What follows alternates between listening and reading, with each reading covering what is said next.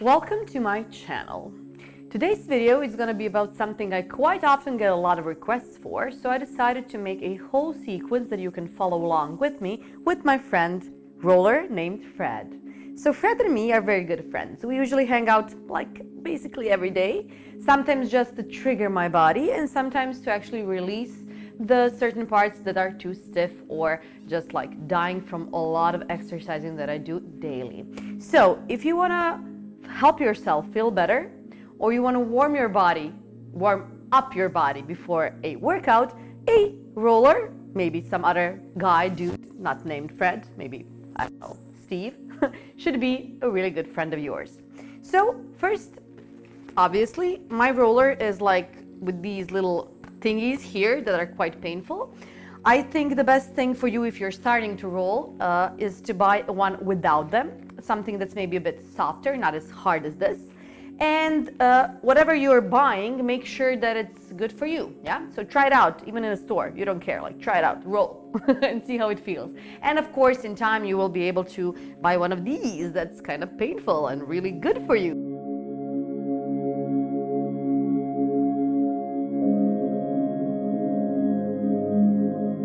So we're gonna start from our thoracic spine. And every now and then I'm probably just gonna stop because my mic is gonna be like hitting my back, so I will need to like check it a bit. So don't think that I'm in pain, just like checking. And I will be lying first on my thoracic spine. So you put your roller on the floor and you put your thoracic upper body on the roller. You intertwine your fingers and you put them behind your head make sure you're holding your head with your arms. So the neck should be very, very relaxed. Everything is in your arms, okay? What you're doing first is just slightly pushing roller upper body by engaging your legs and making sure that the pressure goes a bit more to the roller. In that way, you will feel the roller entering your upper body part and you're gonna feel like really I would say nice and at the same time really blousy, but it's like a juicy, good feeling in the end. So you're just slightly rolling backwards and forward just to get the feeling of it, yeah?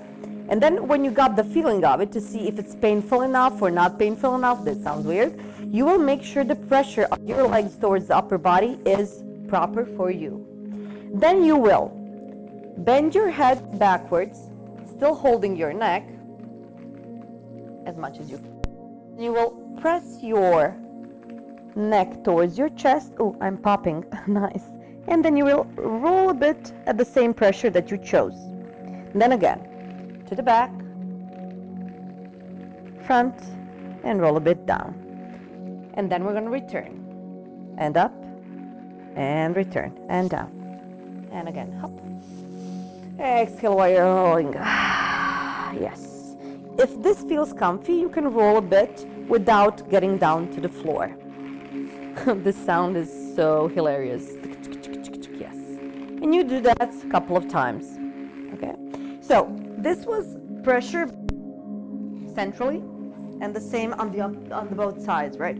But usually what I prefer doing afterwards is rolling sides and entering my lats and entering my shoulder blades and entering all, all, entering all those parts they're basically more stiffer than the central part right? So to in order to do so you are rotating a bit to the side. You you will have to find your side right? And then rolling a bit here. It could also be done in a way that you're like all the way in the air as I am. But if you're doing this first time, it's going to be a bit too painful. So maybe I would advise for you to be on the floor while you're doing. If you find a certain spot that's stiff and like feels really uncomfortable, try to just stay in that part of your body and breathe there. Like you're actually really breathing into the muscle that's in pain, okay? So maybe maybe the better word for this would be discomfort, not pain. Because sometimes we think about pain being something like this, but this is actually a discomfort, not pain. This is just your brain signaling that something is going on there that should be, I don't know, in a better way uh, uh, felt, or or it should be healthier, or it's maybe too intertwined between your tissue and stuff. So just just like try to think of it as discomfort and not pain. Okay. Coming forward. so you can also release your arm here, and the rolling is going to be more intense, right? And you can, of course, then try, try to shift on your armpit. So the armpit part is probably one of the most neglected parts that people like never roll. And it's really really important to roll it. Why? It's connected uh, here with your shoulder and as well with your uh, front part of the body. And it's assuring your arm to be mobile enough. So if you're not rolling this ever sometimes you might feel stiffness here or actually in your shoulder even though this is your armpit so for the armpit i suggest you just stay here and then you try to like go a bit up and bit down trying to find that spot, sweet spot that's in pain. Oh my God. and then when you find it, just hold it for a second or two here, yeah? And just try again to breathe into the area. Then when you're finished with this, you can slightly start to roll towards the roller and back. Usually when I do it, I hold my head because in this way, I'm not having any pressure in my neck. It, the neck is really relaxed. You can even hold your head like this. And I'm just concentrating on my armpit, my latissimus and my plexus. Plexor. plexors, actually, it's more of them. So this is what I'm doing. If you feel comfortable enough to be only on your stomach here, just to massage your front part here, this meaty part, yeah.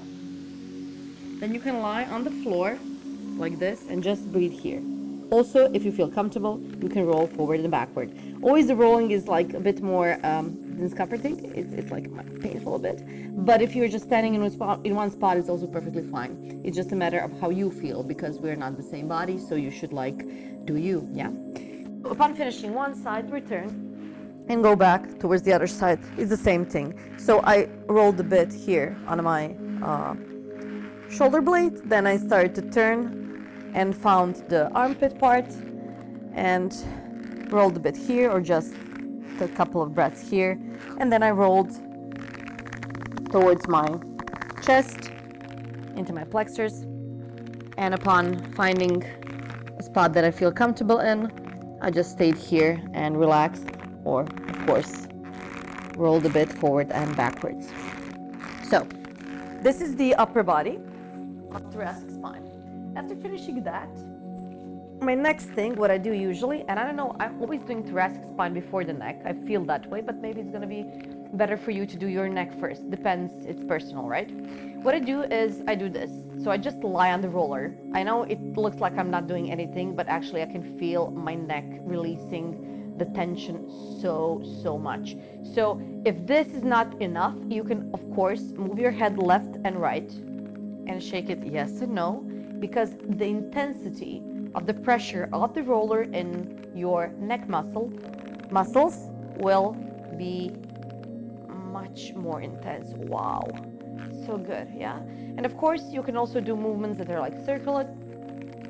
So this is also an option. And if this seems not strong enough, you can push the floor again with your feet and make the pressure on your neck bigger, yeah? Of course, Sometimes even holding the roller could be helpful because then you can go a bit to the back and front. But this is, for me, I think something that I rarely do. It's much more comfortable to just do it like this, lying down and just enjoying this sweet, painful, discomforting yet so pleasurable feeling. Okay, so this is for the neck. When you're finished with upper body, with your plexors, your latissimus dorsi, and uh, with your shoulder blades uh, and thoracic spine, next what I do is leggies. Okay, so you have a lower back pain. So if you have it, one of the best things you can do is to roll out your glutes. So first I usually do it with the roller, then I like keep on going and going and then I use balls. So you can actually use the balls for it as well. I prefer those that are um, uh, like, like a bit harder because if they're like firm enough, then they're gonna enter more and uh, divide your tissue better, especially fascia. But if even this is kind of painful for your bum, I would suggest to just stay on the roller because this can be really intense. So you go first on your glute maximus and you just roll it slightly here.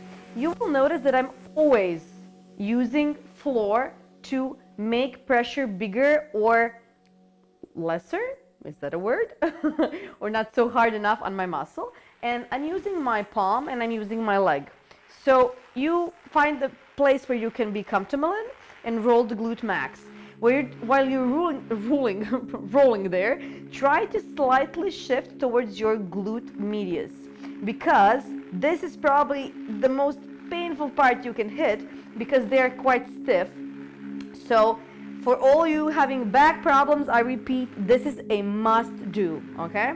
So you're rolling here, and then of course you can switch the sh shift the sorry the weight towards the center and a bit towards the side yeah and when you're finished with that what I usually suggest for everybody to do is to release the IT band so it's this part of your leg from your knee hip and it's very stiff for most of the people. I should really address that if you have a knee valgus, meaning that your knee is going when you're walking a bit inside.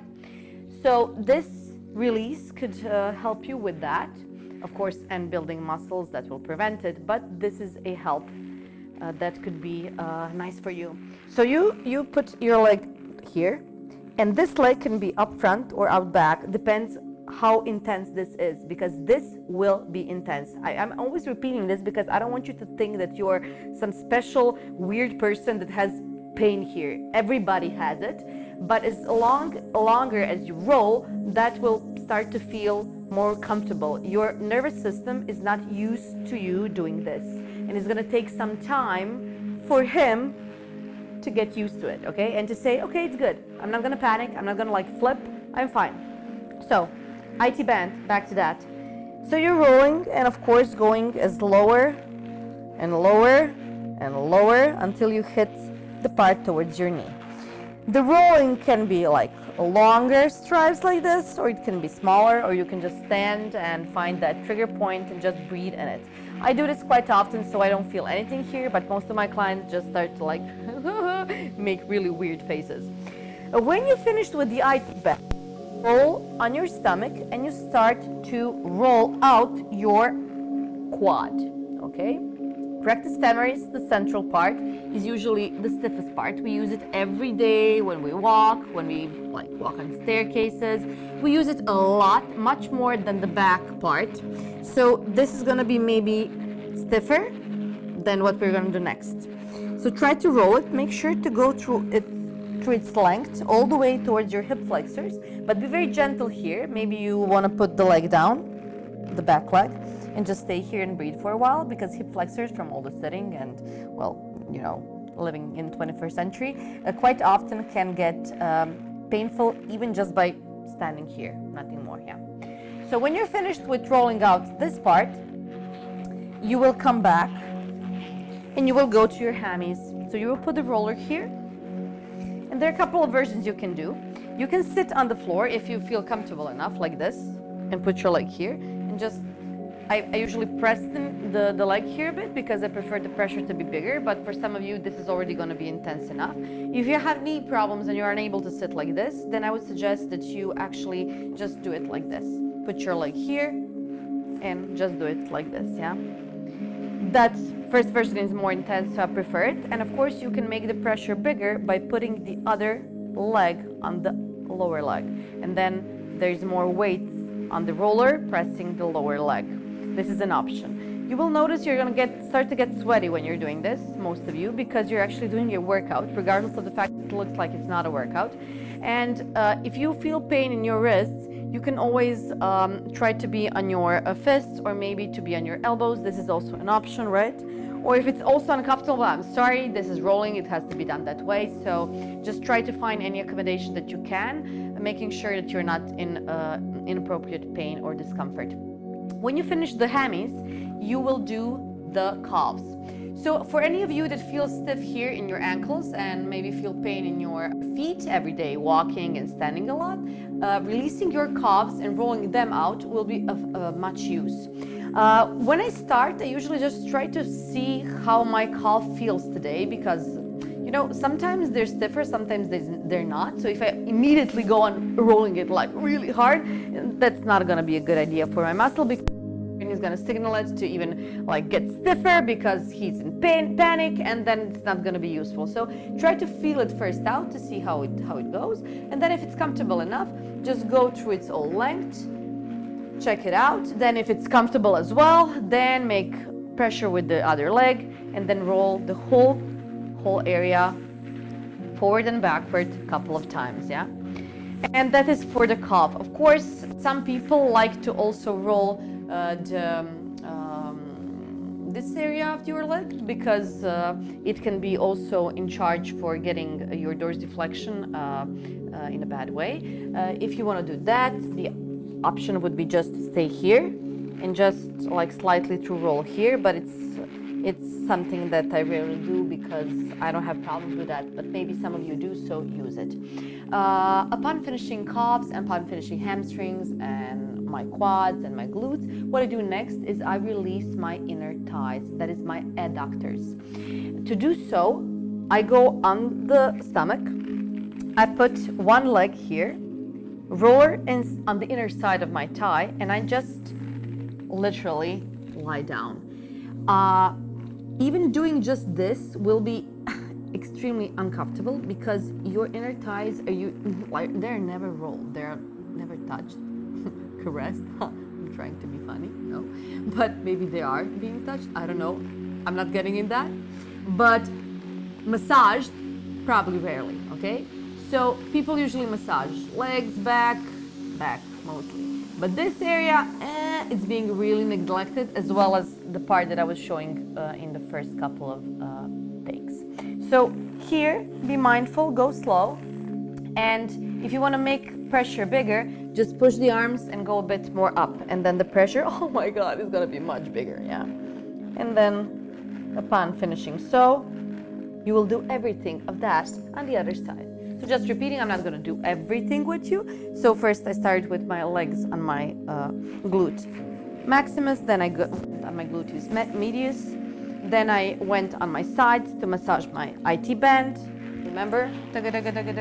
With my leg here or here. Then I slightly started to rotate to massage and to trigger point my quadratus, not quadratus, sorry, my, uh, my quad. Quadratus lumborum is actually here. And upon finishing that, a couple of times just to make sure that my both sides are being touched, I went to roll out my hamstrings. So I was here. This is what I feel comfortable in. Oh, for you dancers or people who are very flexible, I tend to do this as well. This is gonna look very weird, but it's like really, really nice to do it. So I'm like in a split and then the intensity that I can roll my hammies with is much bigger. Uh, I would suggest just putting a sock because as you can see, I cannot slide. So it's easier if you have something, that's why I'm bending my knee. You don't have to bend the knee. Actually, it's much useful, more useful if you do it like this. But oh my God, the sound is horrible. So this. Then when I finish that, did my calves, first feel them out to see how they're feeling today. Are they happy? Are they not? Are they stiff?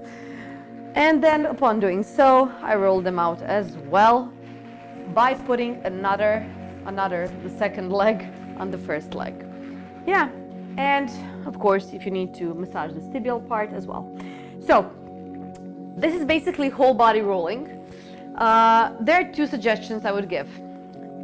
So either you will use it to trigger point your muscles in a way that you make a better connection between your brain and the muscles. So when you start the workout, the muscles will be communicating better with your brain. So that's trigger pointing, yeah?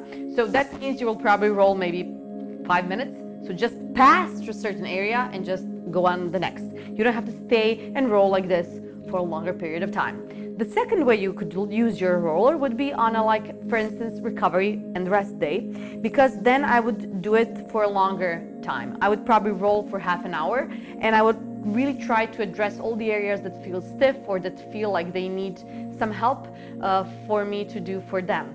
So my friend Fred here helps me a lot daily.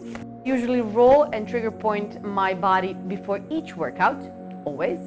And on recovery days, I roll for half an hour, two hours, sometimes longer. I just, you know, watch a movie or do something and roll. It doesn't take, take a lot of time, it doesn't take a lot of space, but it will be of high benefit and it will be very thankful. So try to uh, use this if you have a roller. If not, buy one. not so expensive. And find a friend like find a friend like me, Fred. Yeah, name him and use him and be good to him because he's gonna be good to you. And enjoy rolling. That's about it. See you later on my YouTube channel.